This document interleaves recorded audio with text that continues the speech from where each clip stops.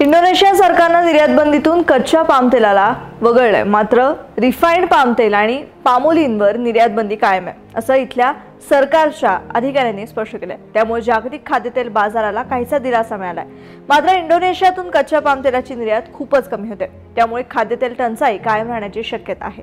देशातल्या वाढलेल्या खाद्यतेल महागाईमुळे इंडोनेशिया सरकारनं पामतेल निर्यातीवर बंदी घातली होती. शुक्रवारी इंडोनेशियाचे राष्ट्रपती जोको विडोडो यांनी ही घोषणा केल्यानंतर जागतिक खाद्यतेल बाजारावर मोठे पडसाद उमटले. जगातल्या सगळ्यात मोठ्या निर्यातदारांकडून अठ्ठावीस एप्रिलपासून तेल पुरवठा थांबणार म्हटल्यावर दरवाढ निश्चित होती. मात्र या निर्यात बंदीत कच्च्या पामतेलाचा समावेश नाहीये. फक्त रिफाईंड पाम तेल आणि पामोलिनचा समावेश आहे असं इंडोनेशिया सरकारमधल्या अधिकाऱ्यांनी खाद्यतेल उद्योगाला सांगितलंय. रिफाईंड पाम तेल आणि पामोलिन निर्यात बंद केल्यास देशात तात्काळ तेल पुरवठा वाढेल. यामुळे देशांतर्गत दर कमी होण्यास मदत होईल असं सरकारचं म्हणणं आहे. मात्र इंडोनेशियातून मोठ्या प्रमाणात रिफाईंड पाम तेल आणि पामोलीनची निर्यात होते. ही निर्यात आता बंद होणार आहे. इंडोनेशियानं कच्च्या पामतेलाला निर्यात बंदीतून वगळल्यामुळे जागतिक खाद्यतेल बाजारासाठी दिलासादायक बाब आहे. पण इंडोनेशियातून मोठ्या प्रमाणात रिफाईंड पाम तेल आणि पामोलीनची निर्यात होती. ही निर्यात मात्र बंद असणार आहे. त्यामुळे पाम तेलाचा पुरवठा कमीच राहील.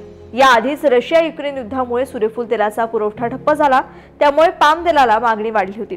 वाढलेल्या मागणीमुळे पामतेलाचेही दर तेजीत त्यामुळे जागतिक पातळीवर खाद्यतेल महागाईत मोठी वाढ झाली निर्यात बंदीची बातमी आल्यानंतर कच्च्या पामतेलाच्या वायद्यात तब्बल साठ टक्क्यांची वाढ झाली होती.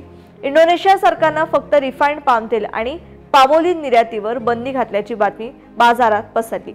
तसं मलेशियाच्या बाजारात कच्च्या पामतेलाच्या वायद्यात दोन टक्क्यांची घट झाली. इंडोनेशियातून दोन हजार एकवीसमध्ये दर महिन्याला सहा लाख वीस हजार टन पामोलिनची निर्यात झाली. तर कच्च्या पामतेलाची प्रति महिना निर्यात फक्त एक लाख टनांवर होती. ही निर्यात भारत पाकिस्तान आणि स्पेनला सर्वाधिक झाली. म्हणजेच इंडोनेशियातून कच्च्या पामतेलाची निर्यात कमी प्रमाणात होते. तर निर्यातीचं प्रमाण जास्त असलेल्या रिफाईंड पामतेल आणि पामोलिनवर बंदी कायम आहे. त्यामुळे खाद्यत्राचा पुरवठा पूर्वपातळीवर लगेच येईल असं नाहीये. त्यामुळे देशातल्या सोयाबीन आणि मोहरीला मागणी कायम राहणार आहे.